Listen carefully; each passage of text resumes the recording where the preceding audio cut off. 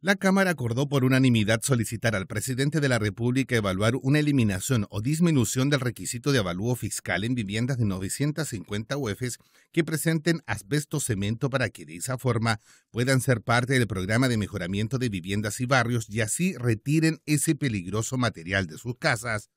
El texto recuerda que el citado programa busca mejorar la calidad de vida de familias que moran en áreas urbanas de más de 5.000 habitantes, entre sus acciones destacan la mejora de la eficiencia energética de los hogares y la remoción del asbesto cemento.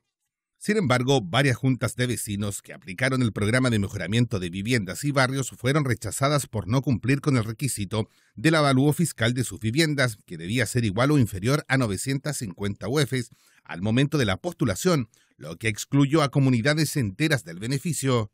Eliminar o reducir el requisito del avalúo fiscal para estas viviendas sería un importante paso hacia la garantía de condiciones habitacionales seguras para numerosas familias en Chile. La resolución agrega que sus propietarios enfrentan una situación económica comprometida, ya que deben abordar los riesgos para la salud asociados con el asbesto y el desafío de costear su reemplazo. Además, a pesar de esta prohibición establecida vía decreto del MinSal en el 2001 no se definió la remoción de materiales confeccionados con asbesto, lo que ha permitido que el mineral persista discretamente en las construcciones habitacionales del país.